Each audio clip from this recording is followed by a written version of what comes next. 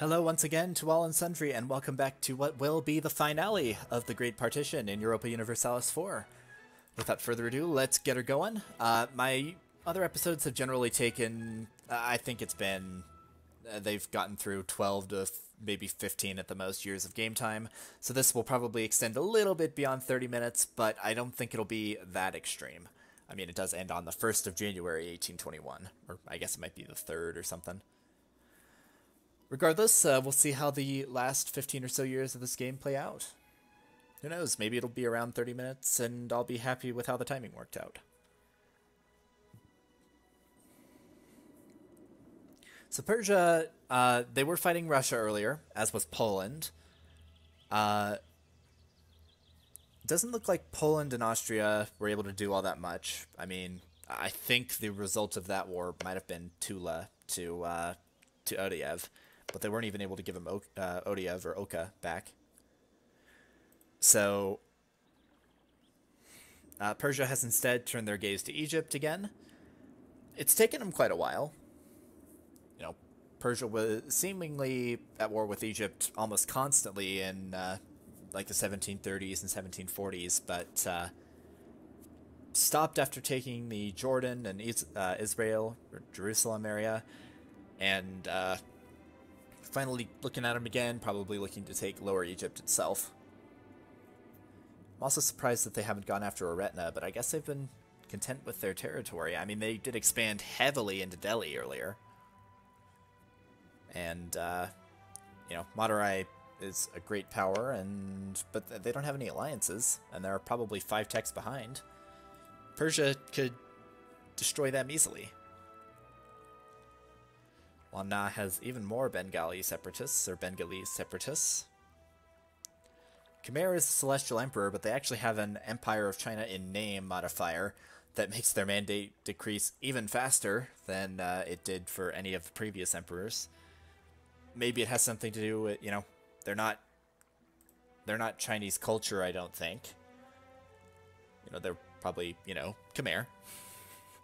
Uh, and I don't know if any of the regions they have cores in actually count as China. Still, right now, they lay claim to the Celestial Emperorship, and uh, we'll see if they can keep it. Their mandate's already at zero, so Wu could take it if they wanted. Lan Na could probably take it back if they wanted. Malaya could probably take it if they wanted. Have the mandate move even further south. Uh, right now, Russia has some Liang separatists. I'm sure they'll get their guys over here eventually, but they also have some Iran separatists, as well as 53,000 Korean separatists. Japan is probably uh, eagerly awaiting 1808 when their truce with Great Britain is up and they can try to take back the rest of Honshu. I don't think they ever lost anything in Kyushu, but uh, I mean, before before the last war, Great Britain had all of the northern half of Honshu basically, as well as uh, like these provinces down here. Never got Kyoto though. Do have some colonization occurring on New Zealand. Looks like it's been split between Norway and Brunei. Uh huh. Interesting to say that, right? And they actually have formed Brunei and Australia, as well as Ahuriri. Wow, I like it.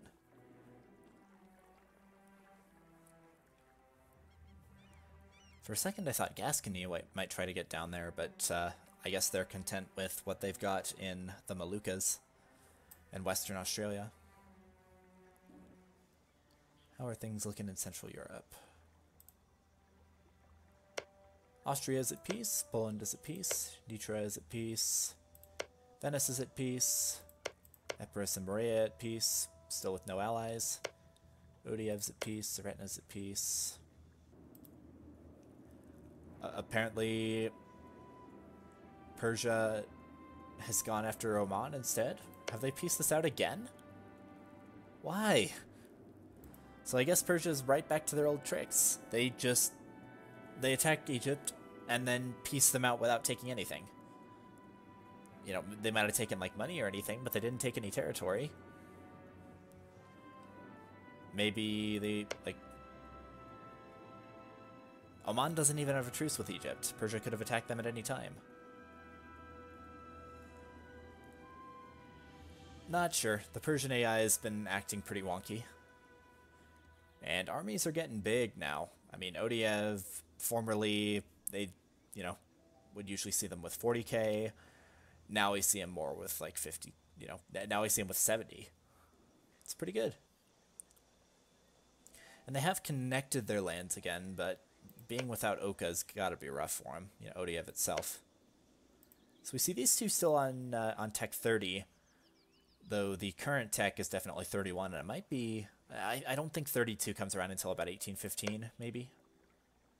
See Gascony on 31, Spain on 31.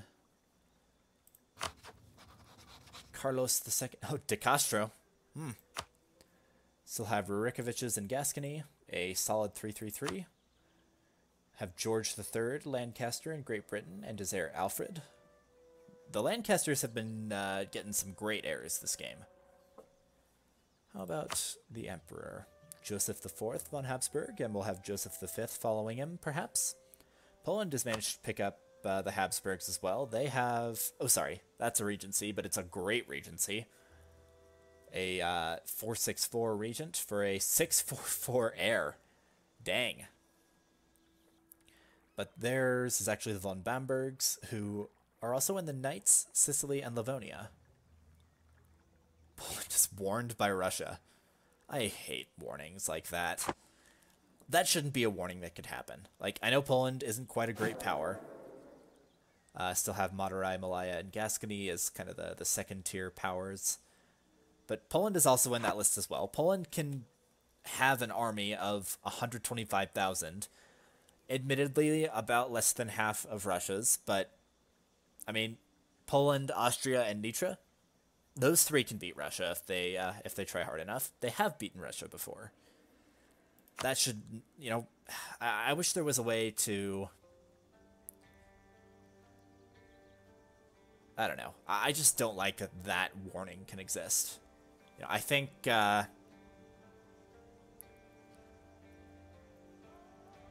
I think that maybe the threshold that's needed to warn somebody should be uh, should be lowered a little bit. You know, like the Ottomans. I think I've ranted about this in a previous episode, but one more time. The Ottomans should be able to warn everybody around them, with the exceptions of Karakoyunlu, Hungary, uh, and the Mamluks. I, I, they don't share a border at start, but I know they border Karakoyunlu. I know they border Hungary. Uh, they border Moldavia, but not Poland. So yeah, they should be able to warn everybody around them. Uh, I guess uh, they shouldn't be able to warn like Venice or Genoa, but they should be able to warn all those, those little guys at start. You know, I think the power difference is big enough there, it makes sense. But, you know, uh, Poland, or, or uh, say the Ottomans, I would compare this to, like, say, say the Ottomans expand like they normally do, they eat up into Hungary a little bit, you know, maybe not up quite to Pest, but say they have a line of provinces starting at like Slavonia or something, or, or like Donji Kraji, and going east uh, down to like, you know, all of Wallachia, maybe up to like Maros, down to Silistria. Say they've conquered all of that in the Balkans.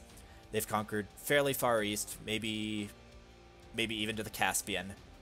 And they can say field an army of 85,000, and it's maybe 1530.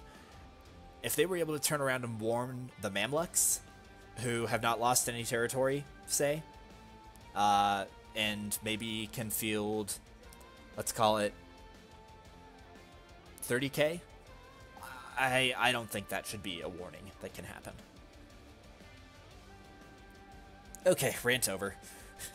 Spain's fighting Egypt again. Uh, they probably just want this province here. I'm doubting that Spain will take too much out of Egypt. Though it looks like Alodia has tried their luck again. And Egypt is focusing down there instead of on Spain in the north. Probably fair enough.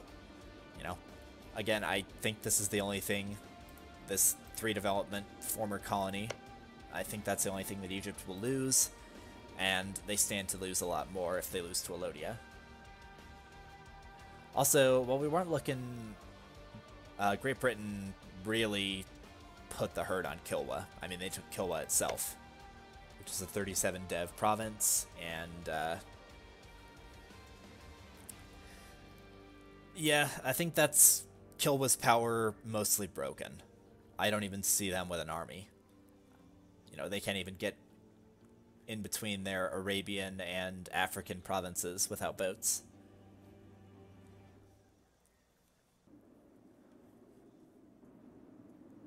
Persia, you didn't take anything from Oman either. Are you just playing with people, fighting wars for the sake of going in and taking their money and leaving? Because that's not very nice. Oy vey. Let's hope uh, another... Okay. That looks like fun. Did uh, Austria attack the Pope again? The Pope who was allied only with Gascony? Oh, wow. Yep. So, Austrian reconquest of Urbino. And, uh, looks like Malaya is up here possibly helping out now. Austria is at war with... Eh, no, it's only the Pope, Gascony, Siena.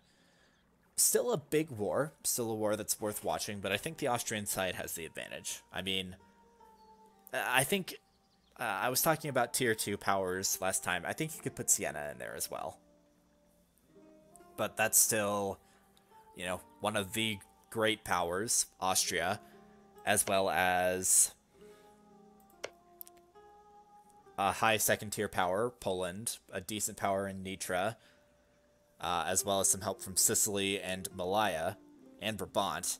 Yeah, I don't think the uh, papal side has a prayer for this war unless there's some really bad uh, army micro from a lot of different nations at once.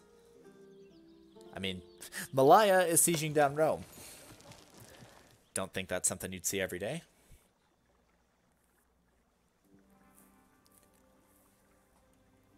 Do have a decent battle between Austria and Gascony here. Looks like, yep, Austria is out on top on that one. They do have a very good general, a 543. Gascony's not so great. He was only one star and might have died. Nope, he's alive, but he's only a 2-1-3. That's a that's a that's an early game General Gascony. What you doing, man? Anyways, I'm sure Austria will be getting their provinces back from the Pope here. There's Montenegro. He's occupying Montferrat in Siena. uh, it's fun seeing those little guys uh, get out, get over and participate. I mean, of course, uh, Montenegro is a Nitran vassal, but still no action from Epirus or Morea, though Morea does have a 363. But Epirus is a mountain province. Gotta be wary about attacking into that. Um, Persia, you're silly. Morocco did take some things from Egypt. Spain took about what was expected, just Tajhari.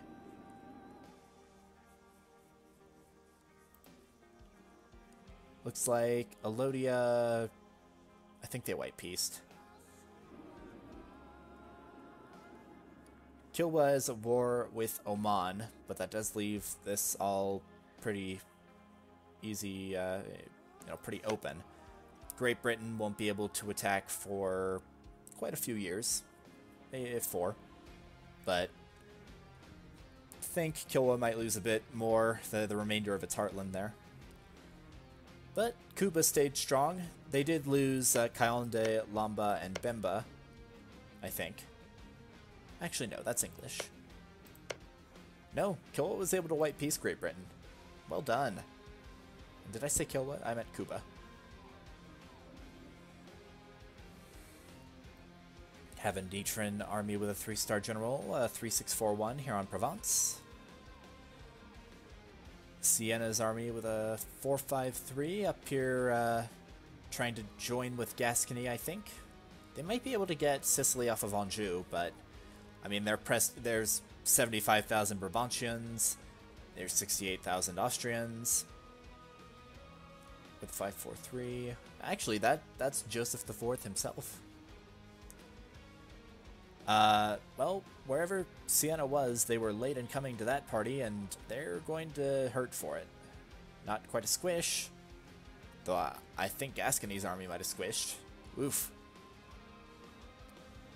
Brabant has actually got the occupation of Normandy. I mean, they do share this sea tile, the Straits of Dover, but uh, that would look pretty awkward. Please don't. Khmer is still the Celestial Emperor in name. Austria is still the Holy Roman Emperor. Notably, we do have Trier supporting East Frisia as Emperor now, and we actually have two votes for Prussia. I don't think Cologne is going to change their tune, and Austria is obviously not going to change their tune, but uh, I think they might refrain from bringing in any more electors because they bring one in, it could sway it in Prussia's favor. Because the AI doesn't care about the game ending. What does that matter? Gotta make sure that the... I mean, the Holy Roman Empire has outlived its uh, real-life counterpart. Though I'd say that that happens more often than it doesn't in EU4. Dismantling the Empire is hard. And outside forces generally have uh, trouble dealing with blobbed Austria. I like how Rome has been given to Sicily.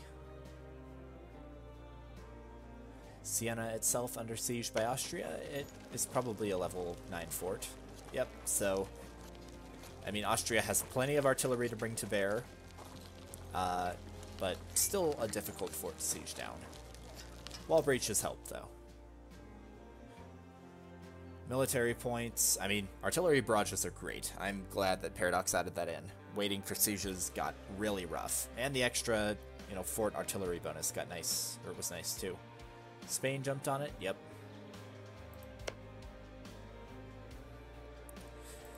Spain looking to expand into France.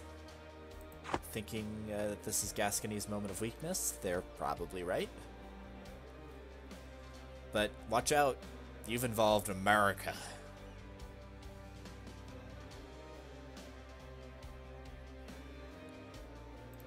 I wonder what uh, kind of ideas does the US have? Expansion, plutocratic,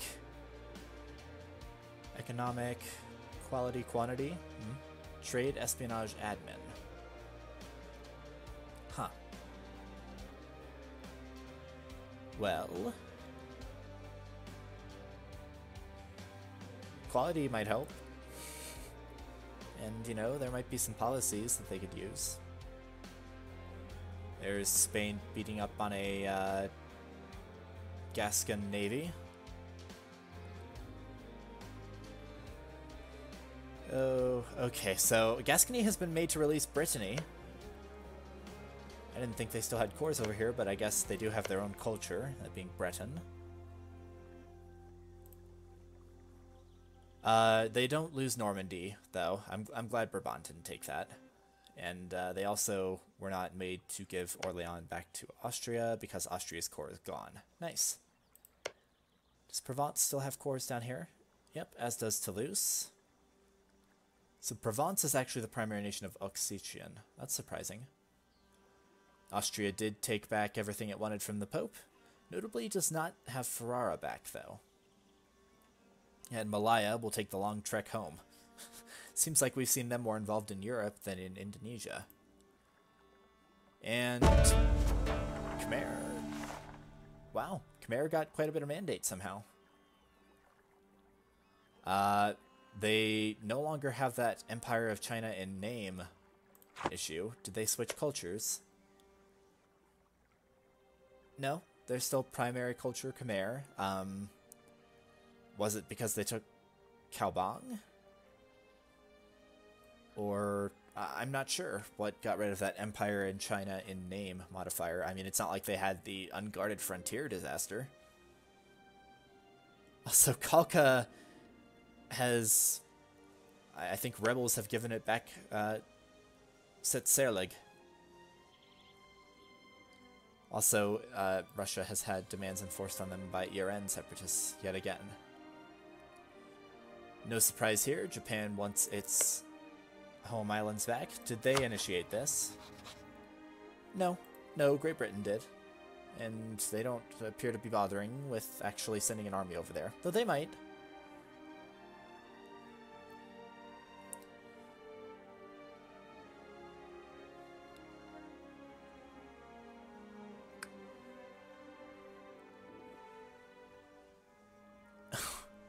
Ah. oh, Austria, your name placement. No. Who all is involved against Gascony? Spain, just Spain and the colonies. And again, they have the US, Odoyev, and Sardinia on their side.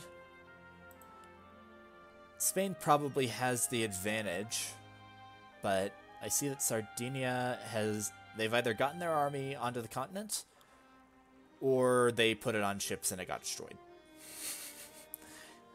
Though I think we'd see more uh, guys being built if that were the case.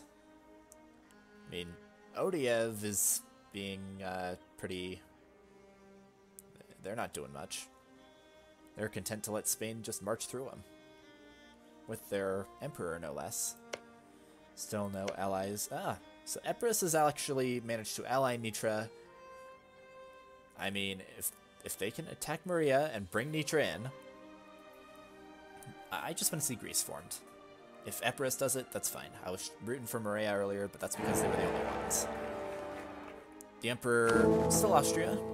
Looks like Joseph IV, uh, I mean, he was made general. That's... That tends to shorten lifespans. Lots of imperial authority being lost, mostly because of lack of electors.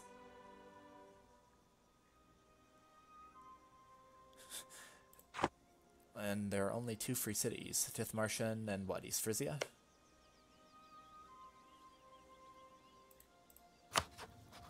No, they're a duchy. martian is still a free city. Um, I don't know if they're... Where's the other one province minor prince? I thought East Frisia was it. Let's let's Ulm. Yes, mighty Ulm partially disguised by hiding up against Austria, but because Prussia's had Ansbach for so long, uh, doesn't exactly work. That said, Prussia is at war with Russia Lubeck. Oh my! Norway has attacked Russia. Who all is at war with Russia? They have four wars going on. Norway, Vinland, Norwegian Australia, Prussia, Great Britain, all the rest of the colonies, but also Brabant. Lord above. Then Poland, Austria, Persia, and Wu. And, and Zoidberg. Dang, I, I hope uh, I hope these wars can finish before uh, the game ends. I think they will. Dang. Come on, Poland. Give Odoyev back to Odoyev. But, wow. Uh, I mean, Norway, okay. I was going to say it looked like Norway wasn't doing anything, but nah, they're ready to occupy things. The old haunts of the city of Finnmark and uh, Novgorod in Finland, who've been gone for a while. May they rest in peace. Persia definitely looking like the winner right now. And it looks like Russia might actually be going over to uh, fight Wu instead of dealing with the Europeans. Don't see Wu's army. There's all the Malayan stacks, uh, having marched all the way across Eurasia, finally getting back home after that uh, war in which they helped Austria. Khmer is smacking Lan Na around. See revolutionaries for them. Still a kingdom for now, but uh, well, that's not a lot of revolutionaries. Um, I'm not sure. Right now, Sukhothai is Khmer's only tribute. Delhi able to take out those Bengali separatists. Bengal has been pretty stubborn. I mean, they've been really low on tech, but they've uh, survived pretty much by being disjointed, I suppose. Madurai still only on Tech 26. It's the end of the game, for goodness sakes. Russia's on 31. Poland has made it to 32. Poland can into space if they uh, take Tech 32 admin. But Zygmunt II, the 644 naive enthusiast, uh, ready for action. We did see a De Castro uh, about to rise to their throne if Zygmunt passes on.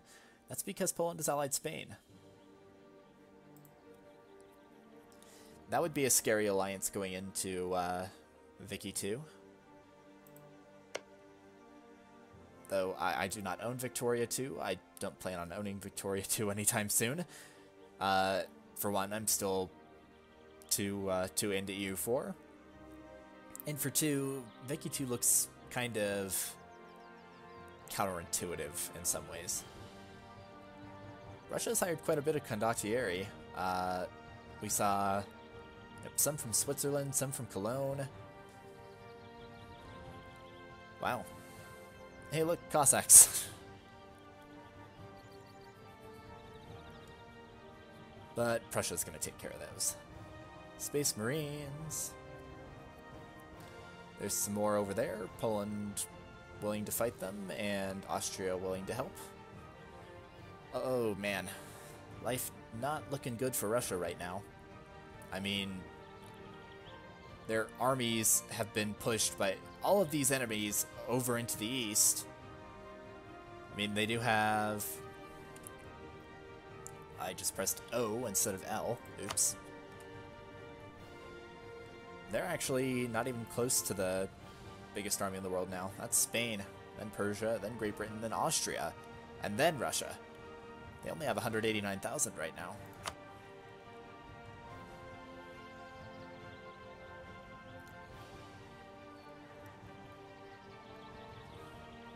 There's some particulars. There's some more Cossacks. All those war scores looking very negative.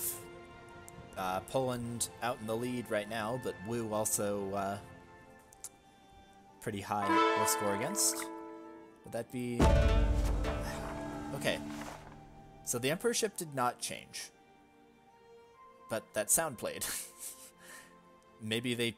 Because they got a tributary? Uh, is it just something that has to do with the Empire of China? I don't know.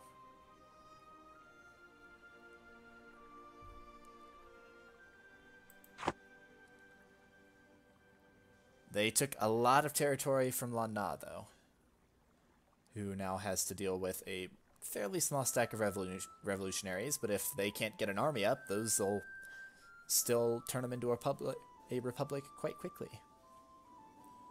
Look at this. We have Austrian armies in uh, in Mongolia fighting Russia. It's 1818 though. They better peace out quick if they want their uh, territorial games to show up before the game ends. Is it like a race to Beijing? No, because Wu has it occupied.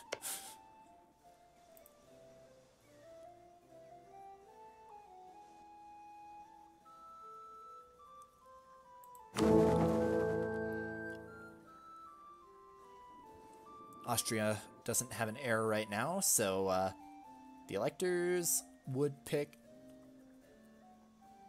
I think it would go to Prussia, but it might actually go to East Frisia. East Frisia, that'd be sad. East Frisia's, uh, for one, they're not in the Empire.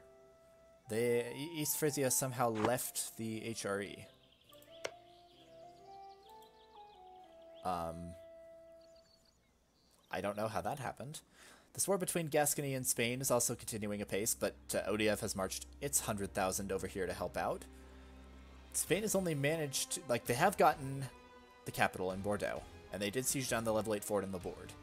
But Gascony has countered pretty hard with and help, siege down its own level 8 fort in Urgell. Uh, of course, their capital probably in either Toledo or Madrid. And Spain looked to be hurting pretty badly on manpower. Though I think Gascony, that seems to suggest to me that Gascony got stack wiped. So maybe Spain will expand into France. Also, Spain has an army over here. Are they involved on Poland's side, Norway's side. Particular still rampaging all about. I don't see Spain anywhere in here. Looks like Wu is pieced out. Um. Yep, looks like they uh, took some border provinces. Russia can now try to fight the Europeans, who have marched all the way into China to fight them. Now it can be a rush for Beijing. Who wants it? Only a level 2 fort. It's about as obsolete as it gets at this point. But it's now 1819. We've got a year and a half, guys. Well, more like, uh, yeah, it's a year and a half. Wu is actually back up into great uh, to the great power rankings right now. They took enough territory from Russia that they've uh, eclipsed Gascony, and Gascony having to get rid of that Breton land had to hurt too. So yeah, they've definitely established themselves as a second-rate power. A they, they wouldn't quite be a minor power in Vicky 2 because they'd be one of the top eight, but, uh, you know, considering Austria has about double what uh, the next biggest great power has, I think it's fair to uh, to divide those up as I have. There's Brabant with 68k over here. Holland, or rather, the the Low Countries will march into China as well. It's not quite Senasapel, but uh, you know. And Russia's army is just fleeing. There are so many people that they need to try to deal with here, but I mean, that's about a hundred thousand. Eh, it's like seventy actually. About seventy thousand from Persia. About a hundred thousand from the Polish Nitran Austrian alliance, the Entente. But I think the game's gonna end before they peace out.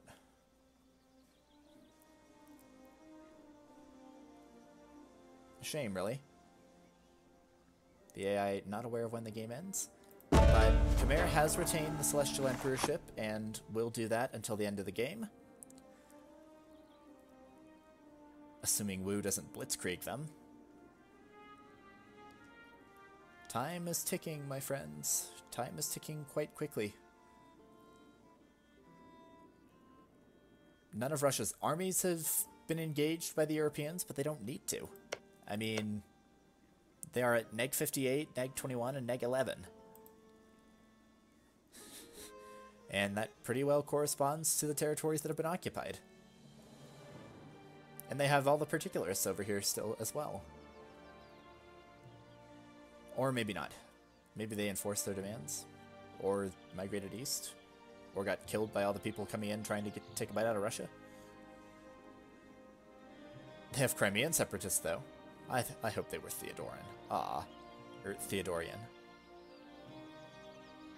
Wonder what river that is. Yeah, anyways. So it is now November of 1820. This series is very close to its end. I will reiterate that uh, Russia not going to appear to piece them out. Here is how the old world looks in 1820. I'm going to go ahead and pause this on the uh, 31st of December. Here is how the old world looks at the end of the game. Props to uh, Persia, Austria, Spain, Great Britain, and Russia, despite the fact that they're getting wrecked right now. Those are your five greatest powers in the world. Also, uh, you know, good work for Malaya. And guys like Poland. I mean, Nitra, despite the fact that they didn't expand much past about 1550, uh, they still replaced Hungary and were a major player in a lot of European wars.